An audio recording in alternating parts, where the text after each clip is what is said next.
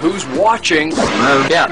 who's listening, And who's tracking your every move. Mobile phone SMS पैगामात पर झूठ पकड़ना अब हो गया आसान। अमरीकी माहरीन का कहना है कि कोई आपको एसएमएस करे और बातचीत के दौरान जवाब में ताखिर हो जाए तो समझ जाएँ कि कोई आपको बेवकूफ़ बना रहा है। माहरीन के मुताबिक झूठ बोलने के लिए जहन कुछ वक्त लेता है क्योंकि इसको कहानी जो बनानी होती है इसके बरक्स सच के लिए वक्त दरकार नहीं होता और जवाब भी मुख्तसर होता है।